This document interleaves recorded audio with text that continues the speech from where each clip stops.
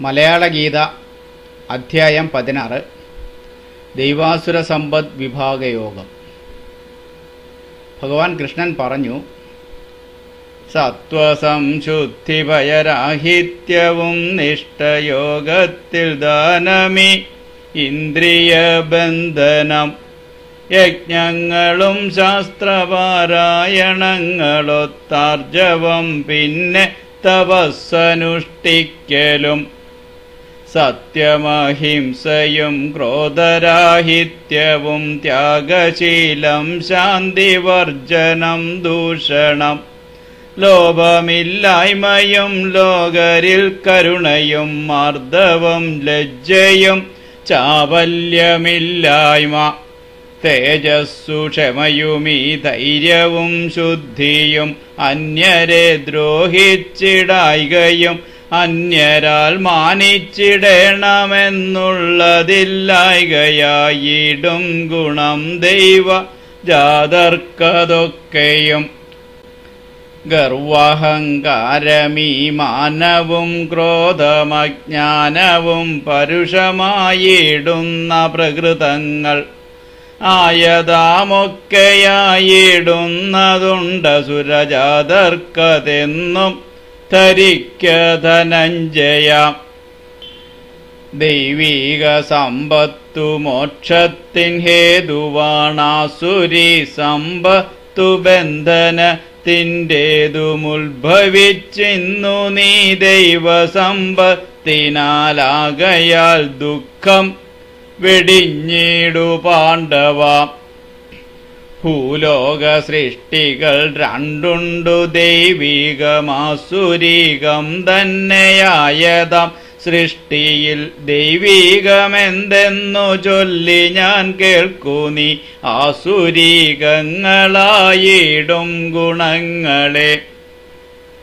അറിവില്ലവർക്കെന്തു ചെയ്യേണ്ടതെന്തെന്നും അരുതാത്തതേതെന്നുമുള്ളതറിവില്ലവർക്കില്ലതെല്ലും ശുദ്ധിയാചാരമറിവില്ലതു തീണ്ടിയിട്ടില്ല സത്യമെന്തെന്നതും ആയവർ ചൊല്ലും ജഗത്തിലില്ലടിസ്ഥാനമസത്യമാണൊക്കെയും സംയോഗമാണീ ജഗത്തിന്റെ കാരണം കാമമാണായതിൻ കാരണമെന്നുമേ.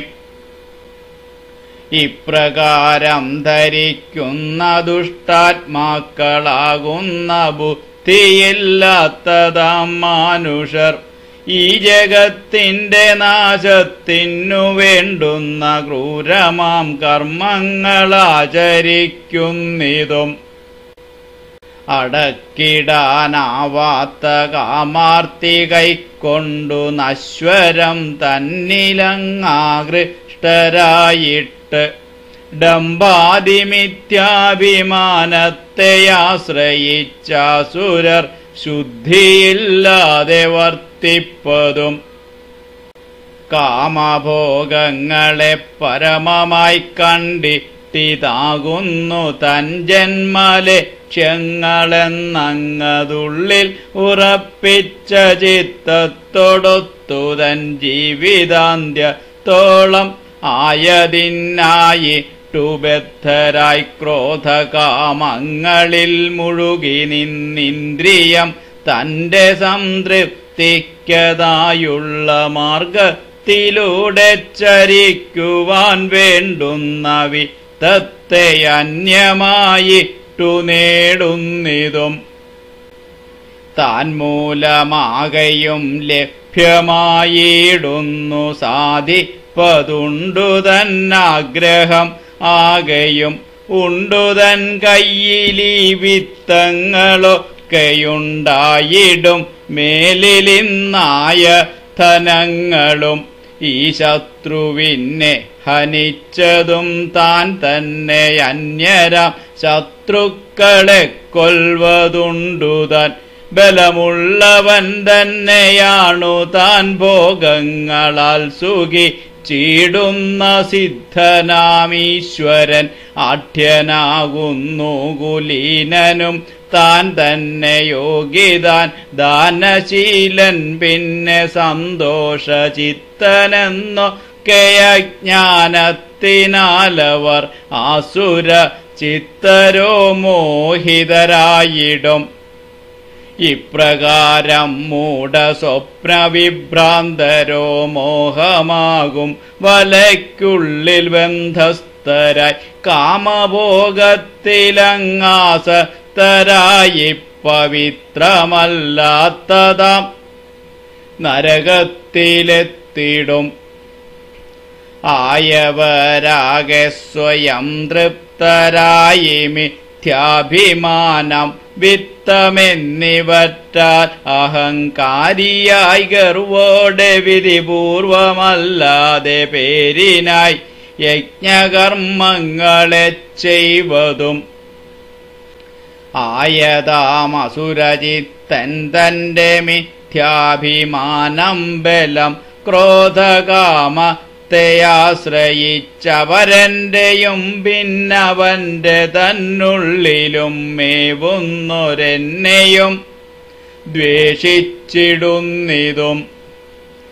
ആയതാം അശുഭരാം ദ്വേഷികൾ പിന്നെ ദുർബുദ്ധികളാകും. നരാധവന്മാരെ ഞാൻ പിന്നെയും പിന്നെയും ആസുരയോനിയിലൂടെ സൃഷ്ടിച്ചിടുന്നുണ്ടെടോ ഭൂമിയിൽ.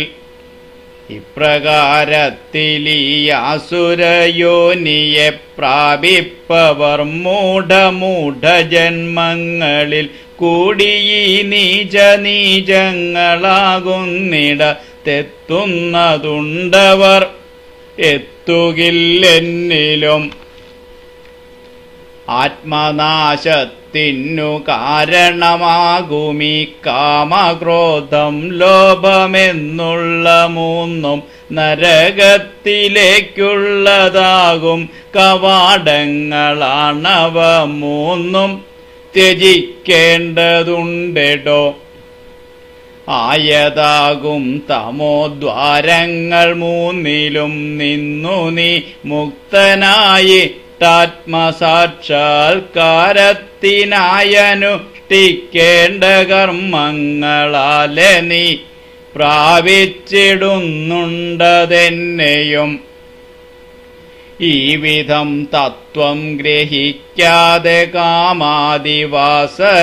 കാമാദിവാസനയ്ക്കൊത്തുവർത്തിച്ചിടും മാനുഷർക്കില്ലടോ സിദ്ധി സൗഖ്യം പിന്നെയായവർ പ്രാപിപ്പതില്ലടോ പരമമാകും പദം. ആയതുകൊണ്ടു ശാസ്ത്രം ഗ്രഹിച്ചിട്ടു തള്ളേണ്ടവ തള്ളിട്ടു കൊള്ളേണ്ട കൊണ്ടു നീ വിധി പോലെ കർമ്മങ്ങളാചരിക്കേണ്ടുന്നതുണ്ടു നിൻ ഉന്നതിക്കായിട്ടു ഭാരത. ഇപ്രകാരം മലയാള ഗീതയിലെ ദൈവാസുര സമ്പദ് വിഭാഗയോഗം എന്ന പേരിലുള്ള പതിനാറാം അധ്യായം സമാപ്തം. ഓ